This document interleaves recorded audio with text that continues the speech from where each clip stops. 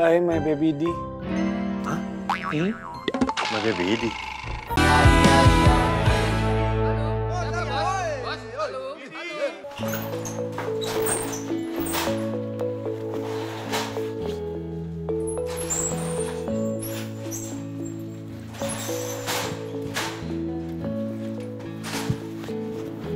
Baik, temenin gue bentar dong.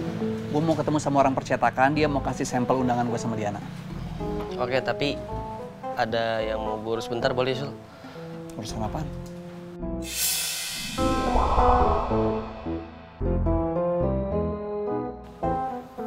Oh, oh iya ya, gue gue gue ngerti kok. Lo kelarin aja dulu. Bentar ya, Sul.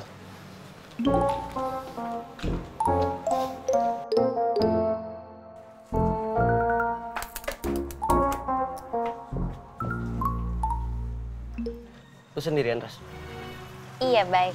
Itu si Butet lagi ambil laundryan. Ras, gue mau nanya deh sama lu. Kenapa lu pamerin ke Butet kalau kita jadian? Kelakuan lu kayak anak kecil aja, Ras. Kita jadian itu buat kita aja. Nggak perlu semua orang tahu. Iya, Bay. Kalau datang-datang udah marah-marah sih sama gue. Ras, tadinya tuh gue nggak mau bilang siapa-siapa dulu kalau kita jadian. Tapi si Butet tadi datang ke kios bubur. Terus nanyain, kita tuh jadian apa enggak? Butetnya ngamuk keras. Kan kalau gini jadi masalah.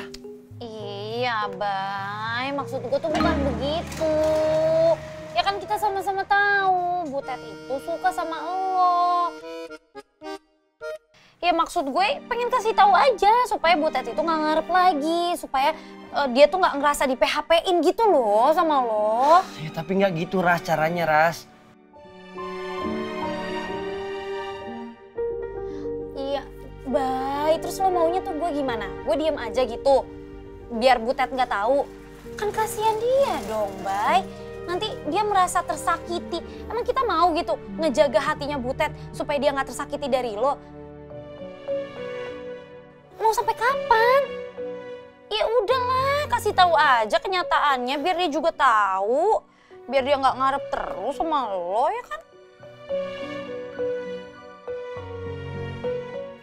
Terserah lu Ras. Gue nggak ngerti sama pola pikir lu. Abai! Abai!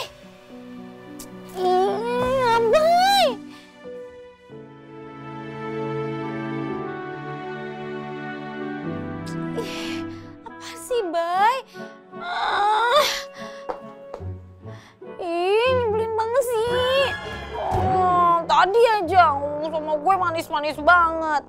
Terus kenapa sekarang malah marah-marah, bete, nggak jelas? Apa sih? Sebel banget deh gue. Gue pacaran sama Abai, bukannya seneng, malah bikin gue kesel ya.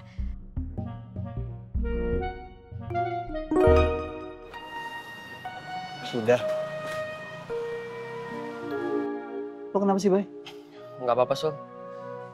Orang tuh kan di mana-mana kalau habis ketemu pacar tuh sumringah, happy, seneng. Ini lo tuh kusut. Berantem ya? Eh, udah Sul, lu jadi mau gue antar gak sih? Yaudah ya kita jalan sekarang ya. Eh, ya udah kuncinya mana? Enggak deh, gue aja yang bawa. Lo lagi kusut kayak begini ada nabrak lagi motor gue. Yuk.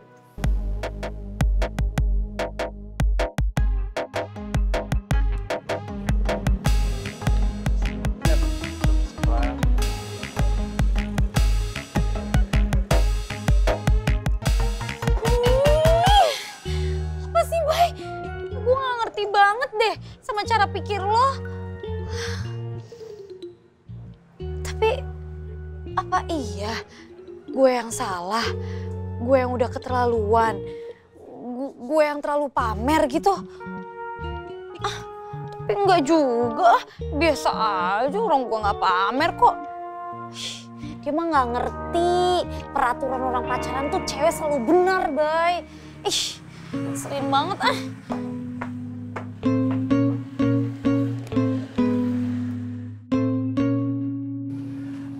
Mak. Ini yang mau menikah kan Diana sama Samsul. Biarkan mereka yang memutuskannya mau pakai mua atau tidak. Kalaupun mau pakai mua, biar mereka yang mencari sendiri, Mak. Loh, Gua kan cuma bantuin Diana. Biar Diana itu cakep perhiasan pengantinnya.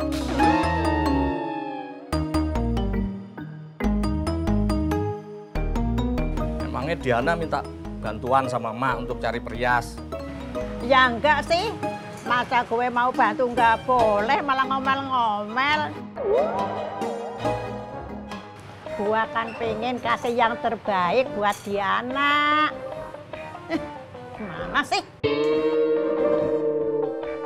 Eh bukain pintunya.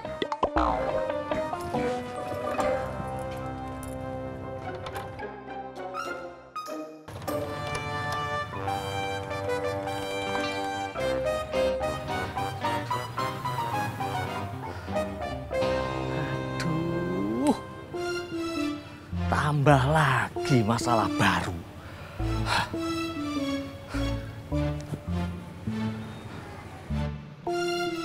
Waduh, keburu ke Gap Pak Jun nih.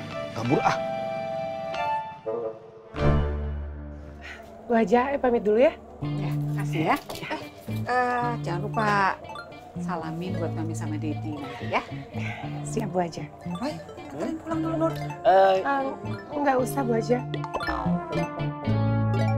Soalnya Ayah langsung ke toko mau survei bahan, jadi nggak perlu diantar. Oh beneran. Ya udah, berarti anak antar sampai depan aja ya ke motor. Eh pamit ya. Ya, makasih ya. Assalamualaikum. Waalaikumsalam. Pik. Ah. Aja bos mami teh ya.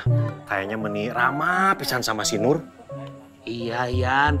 Namanya juga calon laki-laki dua. Maksudnya? Iya, laki-laki dua. Laki-laki bahasa Inggris siapa? Man, Dua? tu, Digabungin? mantu. Kadang-kadang lu. Bener kan? Soalnya Cing Haji Ahmad setuju Bang Haji Roy sama Nur Aini. Selain Nur Aini itu cantik, pinter, terus level lagi sama Bang Haji Roy, ya kan? Kalau sama Diana, selevel nggak Min? Kalau itu sih beda lagi ceritanya. Boro-boro mami bos. Ayah aja ngelihat suka, Min. Hmm. Eh, iya mami bos. Mami denger nih.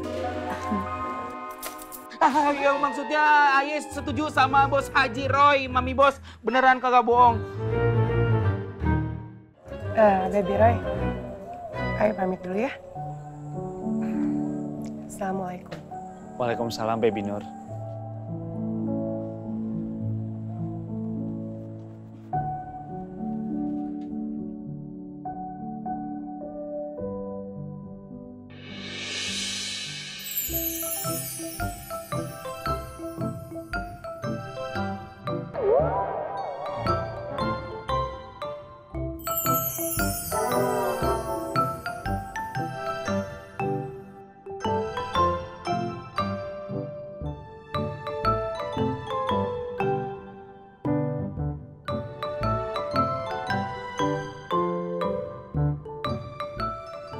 Bye, my baby D.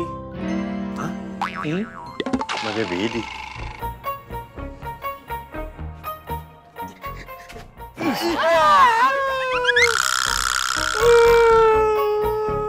Kenapa kaki anak diinjak? ha? Mana mata antum berdua? Ini mataku, mata kiri mataku, mata kanan mataku, mata mata.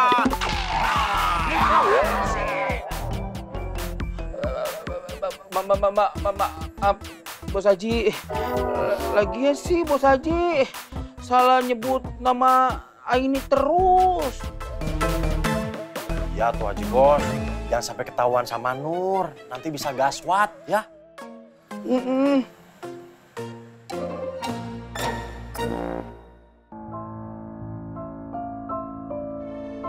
Duh, kenapa tadi gue ngomelin Laras ya? Tapi emang Larasnya sih bikin gue emosi.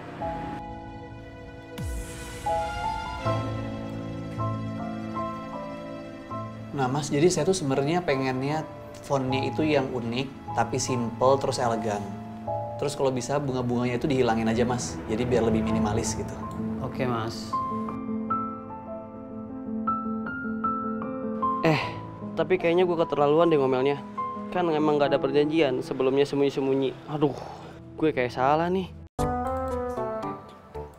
Kayaknya kayaknya jangan yang ini deh mas, jangan yang ini. Jadi tetap saya pengennya tuh nggak pakai ukir-ukiran gitu loh mas. Terus warnanya lebih elegan, lebih soft gitu. Kira-kira gimana ya? Oh salah ya? Ah harusnya begini nih mas. Nah ya coba. Menurut lo gimana bay? Iya Sul.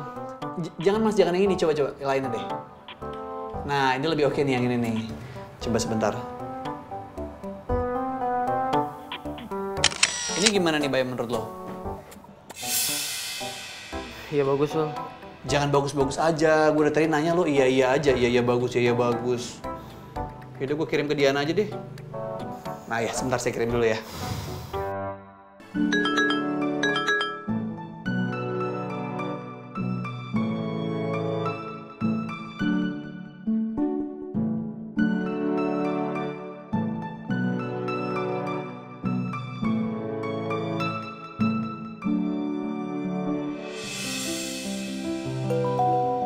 Sebentar ya mas. Assalamualaikum Sul. Waalaikumsalam Di. Ini aku masih di tempat percetakan undangan. Tadi aku udah kirim ke kamu beberapa sampelnya. Kamu suka nggak? Iya Sul, cakep banget. Aku suka deh. Terus nggak terlalu norak dan nggak kelihatan murahan juga. Kelihatannya tuh sederhana tapi elegan gitu. Yang terakhir aku kirim tadi itu yang paling bagus menurut aku juga. Dari fontnya, warnanya, desainnya juga simple tapi elegan. Syukurlah kalau kamu juga suka yang gitu, Di. Kalau gitu berarti kita tentukan yang itu ya. Iya itu aja Sul. Ya udah kalau gitu makasih ya, Di. Udah dulu, Assalamualaikum. Waalaikumsalam.